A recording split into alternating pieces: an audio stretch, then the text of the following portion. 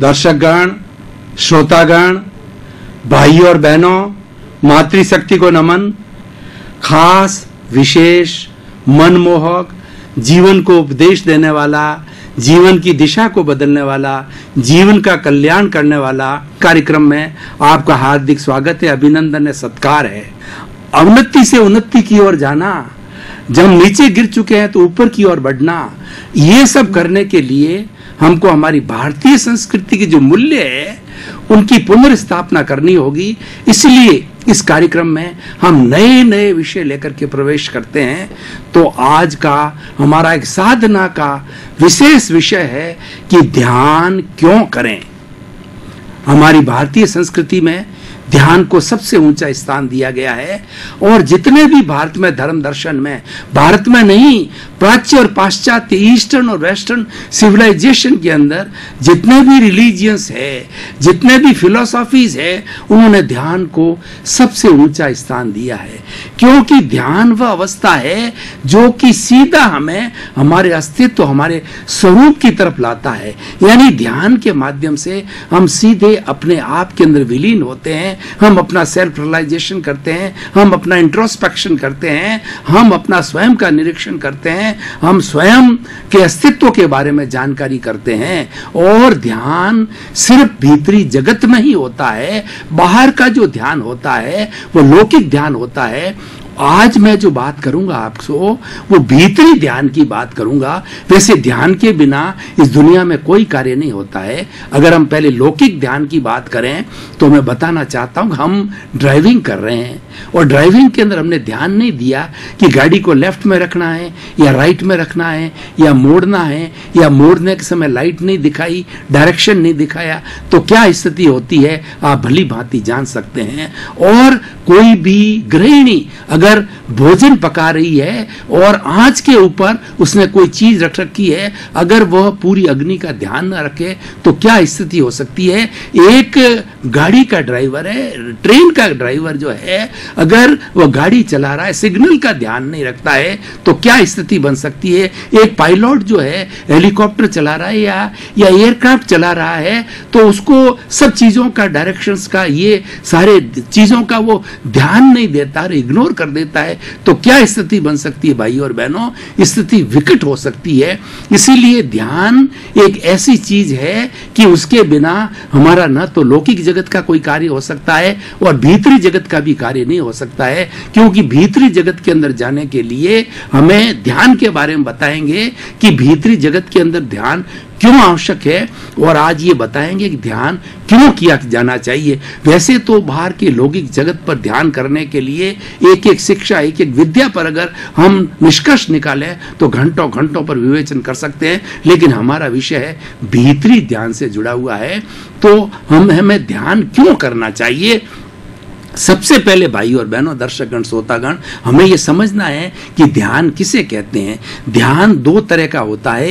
एक तो आलंबन ध्यान होता है, एक निरालंबन ध्यान होता है। आलंबन ध्यान के अंदर हम किसी भी वस्तु, हमारे किसी भी भगवान, हमारे किसी भी देवता, या हमारे किसी भी इष्ट के फ़ोटो पर, या उसकी मूर्ति के ऊपर, उसको एक आधार बनाकर, एक आलंबन बनाकर हम हमारी चित्त वृत्तियों को सब एक जगह एकाग्रित करते हैं, हमारा जो ध्यान है, हमारा जो विचार है इधर उधर नहीं भटका करके, उस पर्टिकुलर स्थान के ऊपर हम एकाग्र चित्त होते हैं और हमारे पतंजलि जो जिन्होंने जो है योग के बारे में कहा है कि योग निरुद्धो ध्यान।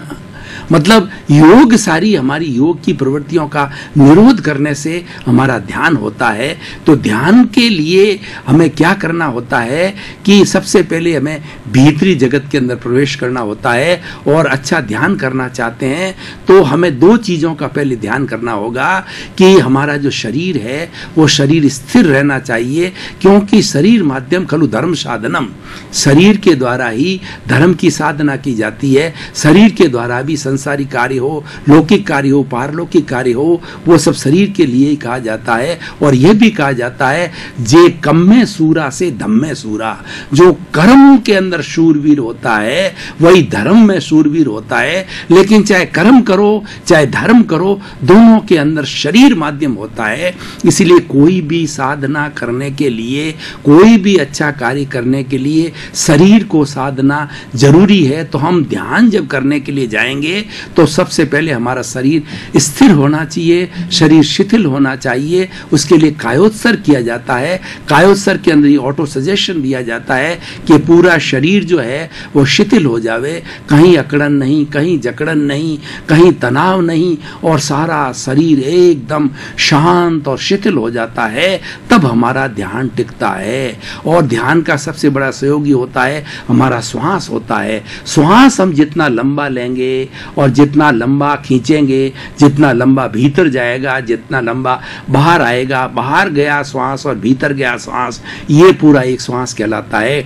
इसकी संख्या जितना हम पर मिनट घटाएँगे, उतना जो है हमारी स्थिरता बढ़ेगी और स्थिरता बढ़ने के साथ साथ में हमारे विचारों की अल्पता होगी। ध्यान के अंदर विचारों की अल्पता होनी चाहिए और जब ध्यान के अंदर हम चले जाते हैं और हमने आलंबन लिया तो हमारी आँखें प्राय बंद रहनी चाहिए और कई बड़े बड़े पहुँचे हुए साधक होते हैं, खुली आँखों से भी करते हैं, अर्ध खुली आँखों से भी करते हैं, लेकिन जो प्रारंभ का साधक है, उसको आँख बंद रखनी चाहिए और शरीर जिसमें आराम से बैठ सकता है, उस आसन के अंदर आराम से बैठना चाहिए और हमारा श्वास शिथिल होना चाहिए। ये हमारे प्रिकॉशंस लेने के बाद के अंदर हम भीतरी जगत के अंदर गोते लगाते हैं और हमने एक आलंबन के ऊपर ध्यान किया और उस आलंबन के ऊपर ध्यान करके हम मात्र क्या करेंगे? हम प्रेक्षा करेंगे। प्रेक्षा का अर्थ होता देखना। देखना कैसे? कि राग, द्वेष मुक्त होकर के ज्ञाता दृष्टा भाव से देखना। हमारे जो भीतर शुद्ध आत्मा विराजमान है, जो हमारा अस्तित्व है, उस अस्तित्व को जानने के लिए, उसका ज्ञान करने के लिए हम ध्यान करते हैं। तो वो जो उसका, उसकी प्रकृति क्या है, उसका गुण क्या है, उसका गुण है कि हमारी शुद्ध आत्मा ज्ञाता दृष्टा है। ये अरूपी है, इसका कोई रंग नहीं, रूप नहीं, गंध नहीं, वर्ण नहीं, जलती नहीं, मरती नहीं, कटती नहीं, किसको रोकती नहीं, किसी से रोकती नहीं तो क्या है? यह हमारी आत्मा अनंत ज्ञान वाला है, हमारी आत्मा अनंत दर्शन वाला है, हमारी आत्मा अनंत शक्ति वाला है, और हमारी आत्मा अनंत सुख का धाम है, अनंत आनंद का धाम है, और चाहे हमारा बाहरी जगत हो, चाहे भीतरी जगत हो, सब दोनों जगत का और पूरा जीवन क्यों न लें, प्राणी मात्र के जीवन की बात करें हम मोक्ष की अवधारणा की बात करें तो हमारा जीवन का लक्ष्य होता है आनंद। उस आनंद की प्राप्ति करने के लिए हम ध्यान ध्यान करते हैं और ध्यान के माध्यम से आनंद मिलता ध्यान के क्या क्या लाभ है, हम बाद में बताएँगे। पहले हम ये बता रहे हैं कि ध्यान क्यों करना चाहिए और कैसे करना चाहिए। ध्यान जो है करने के लिए जो है हमें एकाग्र चित्त होना चाहिए और एकाग्र चित्त होकर के जब हम आते जाते विचार जो हमारे कभी रुकते नहीं हैं। विचार को एक मन, जो मन को बहुत चंचल कहा गया है, ये चंचल बंदर की तरह है। मन के लिए कहा गया है, मन लोभी, मन लालची, मन चंचल, मन चोर, मन के मते न चालिए, पलक पलक मन और। यानी हमारा मन मन का अर्थ होता है विचार। ये विचार भटकते रहते हैं तो व्यक्ति अस्थिर हो जाता है। उस विचारों को स्थिर करने के लिए, विचारों की अल्पता लाने के लिए ध्यान किया जाता है। जब विचारों की अल्पता होती है और हम ध्याता दृष्टा भाव में रहते हैं तो हमारी प्रतिक्रिया विरति हो जाती है। हम किसी चीज़ के अंदर प्रतिक्रिया नहीं करते हैं। ये दुख क्यों आता है?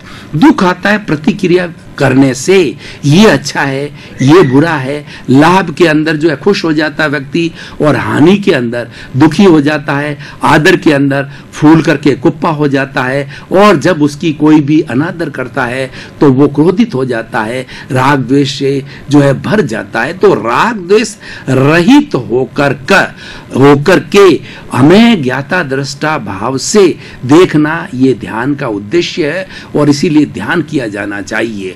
अब भाइयों और बहनों दर्शकगण श्रोतागण हम ये थोड़ा देखें कि ध्यान करने के लाभ क्या है। सबसे पहले हम लाभ ले देते हैं कि ध्यान करने से हमारे दिमाग के अंदर जो उथल पुथल मची हुई होती है, हमारे टेंशन होता है, वो टेंशन का विसर्जन हो जाता है। कितना ही बड़ा से बड़ा व्यक्ति को टेंशन हो, उसका कायोत्सर की अवस्था में है, श्वास शिथिल है और वो ध्यान, एकाग्रता से ध्यान करता है तो सब प्रकार का टेंशन गायब हो जाता है और एक आनंद का दरिया उसको दिखने लगता है। आनंद का स्रोत फूट जाता है तो ध्यान करने का सबसे बड़ा लाभ यह है कि तनाव मुक्ति। और दूसरा बड़ा लाभ यह आनंद की प्राप्ति। हमारे जीवन का उद्देश्य आनंद प्राप्त करना है तो आनंद प्राप्त करने के लिए हम ध्यान करते हैं। ध्यान का तीसरा लाभ है स्वरूप की प्राप्ति। हमें अपने खोज करनी है कि मेरा स्वरूप क्या है। दर्शन का प्रारंभ कहाँ से होता है? दर्शन ये कहता है कि तुम तीन प्रश्न अपने आप से करो कि मैं कौन हूँ? मैं कहाँ से आया हूँ और मुझे कहाँ जाना है? तीन जब प्रश्न आप अपने आप से शांत भाव से पूछेंगे तो आपको जीवन की दिशा मिलेगी कि आपको क्या करना है? जीवन का उद्देश्य है। किस लिए इस जीवन के अंदर आए हो? जीवन की दिशा क्या है? वो दिशा हमें अपने आप इस तीन प्रश्नों में समाहित है। और जब ये प्रश्न हमारे अंदर जागृत होते हैं, वहाँ से दर्शन प्रारंभ होता है और वहाँ से हमारे जीवन निर्माण की प्रक्रिया चालू होती है, हमारा एक लक्ष्य बनता है कि हमें क्या करना है। ये सबसे बड़ा ध्यान का लाभ होता है। अब ध्यान करने से क्या एक अल, क्या लाभ होता है? रसायन का परिवर्तन होता है। हमारे भीतर भाइयों और बहनों, प्रतिक्षण रसायन बदल, रसायन बनते रहते हैं। इनको हम एंडोक्राइन ग्लैंड्स कहते हैं। इन ग्लैंड्स के अंदर रसायन बदलते हैं। हमारे भीतर के जैसा कर्म शरीर होता है, अच्छे या बुरे विचार आते हैं, उसका रूपांतरण हमारे अवचेतन मन में होता है। अवचेतन मन को हम तेजस शरीर कहते हैं और इसको लेशिया कहा जाता है। ये बहुत बड़ी फैक्ट्री है। हमारे भीतर जगत के अंदर जो अवचेतन मन है, तीन तरह के मन है चेतन मन है, हमारे स्थूल शरीर के ऊपर काम करता है, वह सोचता है, भूत की जो है, वो कल्पना, भूत की जो है, वो स्मृति करता है, भविष्य की कल्पना करता है, वर्तमान का चिंतन करता है, और उसके बाद में अवचेतन मन है, उसमें सारा रूपांतरण होता है। को कोई भी व्यक्ति बदलना चाहता है, कोई भी व्यक्ति अवधान, पुराने ऋषि, मुनि जो है ना, एक बार स्वामी विवेकानंद को लीजिए, स्वामी विवेकानंद के लिए कहा जाता है कि वो किसी पुस्तक को एक बार दद्द चित्त होकर के पढ़ लेते थे तो उनकी उतनी इतनी एकाग्रता थी कि वो पूरी पुस्तक उनको याद हो जाती थी। फिर कोई भी उनसे प्रश्न कहता था तो बता देता था फला पुस्तक है, फला पेज पर ये सेंटेंस लिखा हुआ है। इसको अवधान प्रक्रिया कहते हैं। ये अवधान की प्रक्रिया अवचेतन मन में होती है। हमारे ऋषि, महात्मा लोग जो है, वो वो साधक लोग होते हैं, उनकी जबान फलती है, वो कहाँ से आता है? वो अवचेतन मन से आता है, वो अभ्यास करते हैं, साधना करते हैं और अपने एक शरीर को ये एक आध्यात्मिक लेबोरेटरी बनाते हैं। उस लेबोरेटरी के अंदर से जो है, ये सारा रूपांतरण की प्रक्रिया अवचेतन मन में होती है। तो हमारा ध्यान हमें अवचेतन मन तक ले जाता है और वहाँ पर रूपांतरण करता है। और तीसरा होता है अचेतन मन। अचेतन मन है, वो एक हमारा गोडाउन है, एक वेयर हाउस है। हमारी जितनी भी कल्पनाएँ, हमारे जितने भी कर्म हैं किस किस जीवन के अंदर हमने कर कौन कौन सा अच्छा बुरा कर्म किया है, पुण्य किया है, पाप किया है, उसका वेयर हाउस है, उसका स्टोर हाउस है, और जब समय आता है तो कर्म उदय में आते हैं, और फिर उसका उदय में आकर के उसका रूपांतरण जो है, लेशिया के माध्यम से, इस हमारे अवचेतन मन, या इसको तेज शरीर भी कहा जाता है, वहाँ पर होता है। तो ये सब रूपांतरण ध्यान के द्वारा होता है और ध्यान का एक बड़ा लाभ ये होता है कि अनंत अनंत जन्मों के हमारे कर्म हैं, उसको कुछ ही क्षणों के अंदर काट जाता है, क्यों? काटा जा सकता है, क्योंकि ध्यान के माध्यम से हम हमारे स्वरूप को देखना प्रारंभ कर देते हैं। हमारी आत्मा तक पहुँचने का केवल ज़रिया ध्यान ही है, मोक्ष को जाने का केवल ज़रिया ध्यान ही है। इसीलिए हमारी भारतीय परंपरा के अंदर, हमारे भारतीय धर्म दर्शनों के अंदर अंदर और भारतीय धर्म दर्शन नहीं, बल्कि वेस्टर्न सिविलाइजेशन की जो दर्शनों के अंदर भी ध्यान को सर्वोच्च स्थान दिया गया है। क्यों? कि ध्यान सीधा हमें आत्मा के करीब ले जाता है, मोक्ष के करीब ले जाता है। तो ये बड़ा जो है वो ध्यान का, ये बहुत बड़ा लाभ है। अब ध्यान तीन तरह के होते हैं। पहला ध्यान जो होता है, आर्त ध्यान, और दूसरा रौद्र ध्यान, तीसरा धर्म ध्यान। और चौथा होता है शुक्ल ध्यान।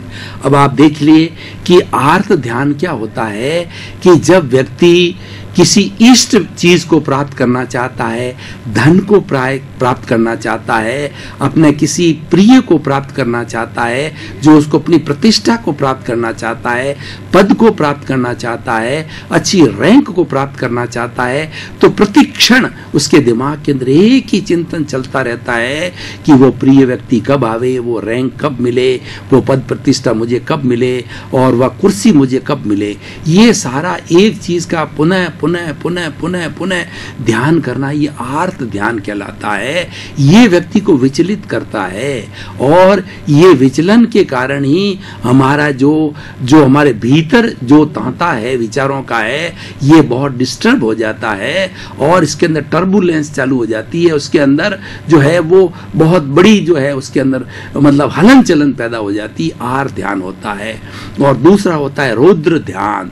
रौद्र ध्यान हिंसक लोग कर करते हैं कि किसी भी प्राणी की हिंसा करना, नकारात्मक, छोटे रूप में नकारात्मक भाव रखना, प्राणियों को मारना, प्राणियों के मतलब जीवन जीवन का हनन करना, किसी का बुरा करना, जितनी सारी नेगेटिविटी होती है, वो सारी नेगेटिव रौद्र ध्यान के अंदर आ जाती है और ऐसे व्यक्ति बहुत नकारात्मक होते हैं, वो सबका बुरा करने वाले होते हैं, उसका रिज़ल्ट भी उसका बहुत बुरा होता है।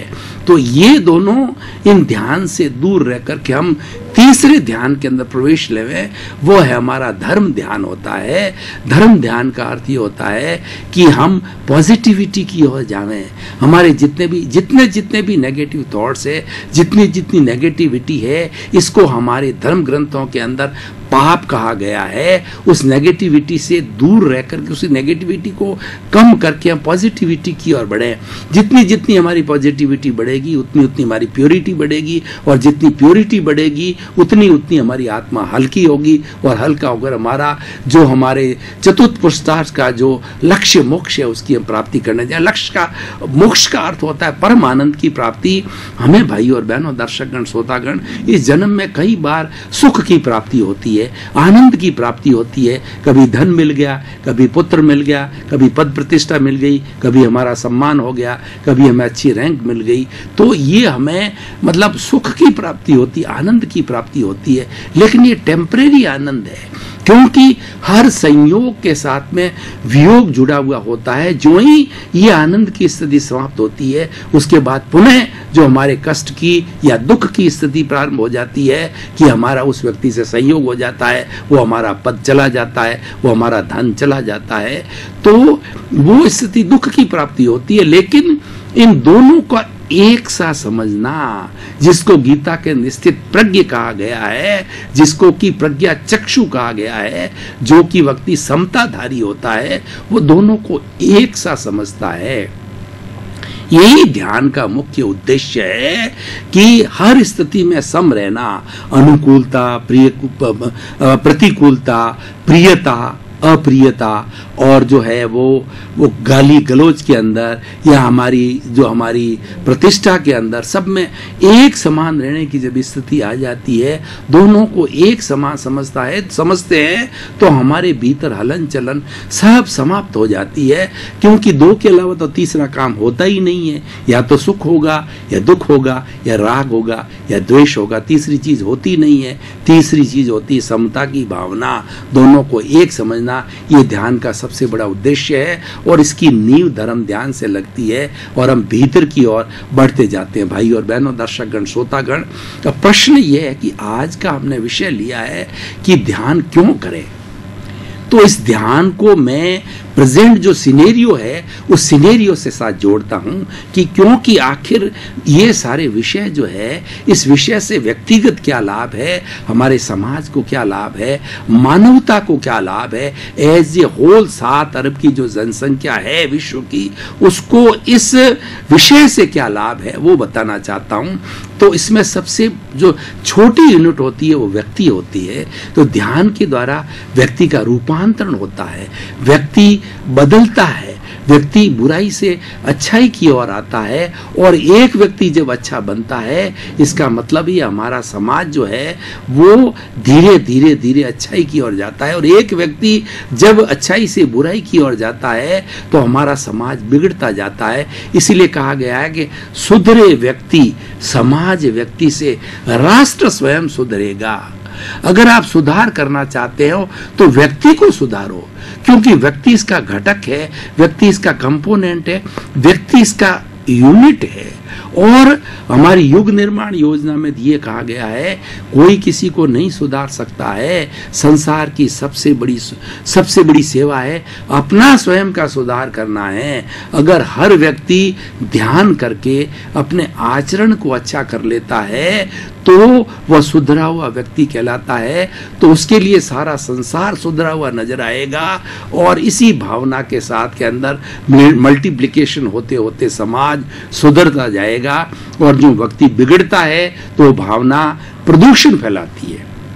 हम इतने बड़े बाह्य प्रदूषण की बात कर रहे हैं कि आज कार्बन डाइऑक्साइड इतनी बढ़ गई है कि ऑक्सीजन की मात्रा कम हो गई है, श्वास नहीं ले सकते हैं, और उसके साथ जल का प्रदूषण कहते हैं हम, वायु का प्रदूषण कहते हैं हम, पृथ्वी के ऊपर जो प्रदूषण, जो मिट्टी का प्रदूषण कहते हैं, सभी के प्रदूषण की बात करते हैं। भाई और बहनों, दर्शकगण, श्रोतागण, मैं आज के विषय के माध्यम से ये कहना चाह रहा हूँ कि सबसे बड़ा जो प्रदूषण है, हमारे विचारों का प्रदूषण है। मैं एक भाई और बहनों दर्शकगण, श्रोतागण, एक आपको सटीक उदाहरण के द्वारा बताना चाहता हूँ कि एक राजा ने अपने प्रजा को, अपनी गाँव की प्रजा को यह कहा गया, कहा कि आज पूनम का दिन है और हमारा जो तालाब है, वो एकदम स्वच्छ पानी से धो दिया गया है, खाली कर दिया गया है। अब इस तालाब को भगवान का अभिषेक करने के लिए इस तालाब को दूध से भरना है। प्रत्येक नागरिक इसके अंदर एक लोटा दूध डालेगा अब देखिए कि चंद्रमा की चांदनी पूनम की तो पहला व्यक्ति, उसके मन के अंदर क्या विचार आया कि वो पानी का लोटा लेकर गया? उसने सोचा कि मेरे अकेले अगर पानी का लोटा डाल देता हूँ तो क्या फ़र्क पड़ना है? हज़ारों लाखों की संख्या के अंदर हमारे गाँव के निवासी, बाकी सब लोग तो दूध डालेंगे। जब ये दुर्भावना उसके भीतर, पहले व्यक्ति के भीतर आई और उस तालाब के अंदर उसने दूध की जगह पानी डाल दिया, अब देखिए प्रदूषण विचारों का कितना फैलता है। दूसरे व्यक्ति के अंदर वो भावना संक्रांत हुई, तीसरे में हुई चौथे में हुई। इस तरीके से सभी व्यक्तियों ने दूध की जगह पानी उसमें उड़े दिया और राजा ने सुबह देखा कि अब कितना हमारा दूध से भर गया, इसका उपयोग भगवान के जो है वो अभिषेक के लिए करें, इसको एक अच्छे कार्य के लिए करें तो देखा कि पानी से भर गया। तो ये विचारों का प्रदूषण है। आज भाई और बहनों दर्शक गण सबसे बुरा क्या हो रहा है कि हमारे में नकारात्मक भर गई है। हमारे यहाँ विचारों का प्रदूषण गया है। और सबसे बड़ी दुखांत बात यह है कि हमारी सहन शक्ति बिल्कुल घट गई है। सहन शक्ति का थर्मामीटर जो है, वो एकदम गिर गया है। कोई भी व्यक्ति किसी को सहन नहीं करना चाहता। आज से जब विज्ञान इतना तरक्की पर नहीं था 20 साल 25 साल 50 साल आप पीछे जाइए तो आप देखेंगे, हर व्यक्ति हर एक को सहन करता था। अगर मान लो, बड़े ने कुछ कह दिया तो छोटा उसको जवाब नहीं देता था। लेकिन आज का सिनेरियो क्या है? एक छोटे से पोते को, बच्चे को, दस साल के बच्चे को आपने कोई बात कही तो उसके रिएक्शन के अंदर वो दस बातें इतना इंटेलिजेंट हो गया है कि उसके रिएक्शन के अंदर दस बातें बताएगा और ये सिद्ध करेगा कि आप जो कह रहे हो, ये सही नहीं है। यानी वो तर्क बहुत बढ़ गया, तर्क नहीं, कुतर्क बढ़ गया है। और इस कारण क्या होता है कि हमारे यहाँ पर झमेले जीवन में चालू हो गए और जहाँ सहनशीलता की कमी होती है वहाँ संवेदनशीलता घटती है। आज घरों के अंदर प्रेम क्यों घट रहा है? क्योंकि त्याग की वृत्ति नहीं है और सहनशीलता की वृत्ति नहीं है। पुराने जमाने के अंदर हर व्यक्ति त्याग की ओर, भोग से त्याग की ओर अधिक ध्यान देता था। नहीं भाई, घर के अंदर ऐसा नहीं, कोई अच्छी चीज़ आई है तो मैं मेरे हिस्से की खाऊं। अगर लड्डू, उसके अंदर, घर के अंदर बीस लड्डू और मेरे हिस्से में एक आता है, एक ही खाऊं, उसमें से वो आधा बचाने की कोशिश करता था। लेकिन आज क्या, नकारात्मक का क्या हो गई है?